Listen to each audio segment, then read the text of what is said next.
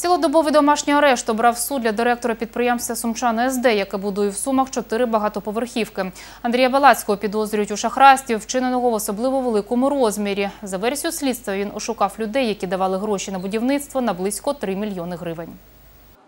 Обрання запобіжного заходу мало відбутись о пів на четверту дня. До початку засідання під будівлею суду зібрались кілька вкладників будівництва. У суді прокурори слідчі говорять, підозрюваний ошукав інвесторів орієнтовно на 3 мільйони. Це за трьома епізодами, в яких є троє потерпілих.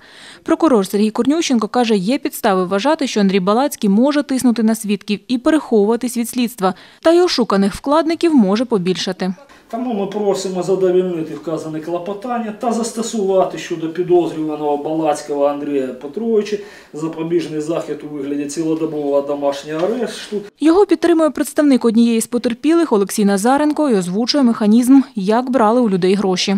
вже на стадії укладання договорів у підозрюваного не було мети будівлі, а було на, е, на меті лише виключно заволодіння коштами, тому що е, замість е, встановленого цивільним законодавством е, щодо нерухомості укладання попередніх договорів куплі-продажу шляхом його нотаріального завірення, замість цього е, Пан Балацький у нас укладав два до- договори. Це попередній договор простої письмовій формі та договор про фінансову допомогу. Далі слово надають підозрюваному. За його словами, ошукувати нікого не збиралися, а будівництво заморозили, бо були перепони. Спочатку карантин, через який не змогли будувати на Косівщинській. Люди перестали покупать квартиры, там вот этот первый период, когда был три месяца, и э, начали массово забирать кошты с предпринимательства, которые мы в этот период возвращали.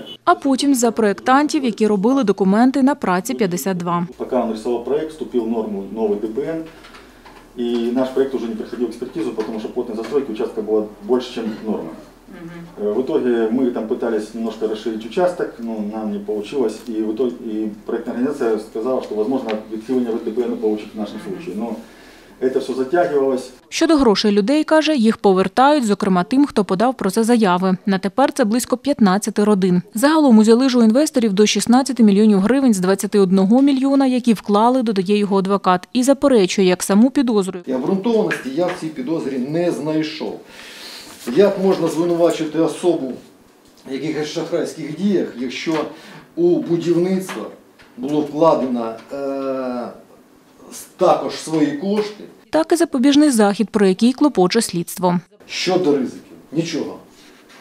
Як би ми не дивилися, ззаду наперед, спереду назад. Зовсім немає. Так. Тому я прошу відмовити задоволені клопотання взагалі.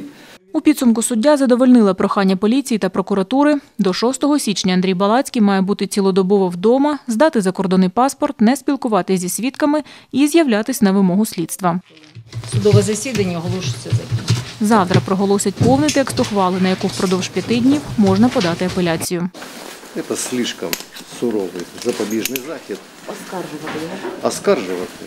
Е, Ну, ми вирішимо. Я поспілкуюся зі своїм клієнтом, ми вирішимо, чи оскаржувати чи ні.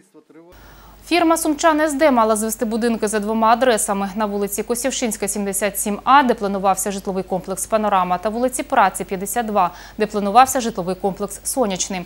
За договорами, укладеними між людьми та забудовником, перша секція житлового комплексу Панорама мала бути здана у березні 2021 року, сонячна у листопаді 2020-го.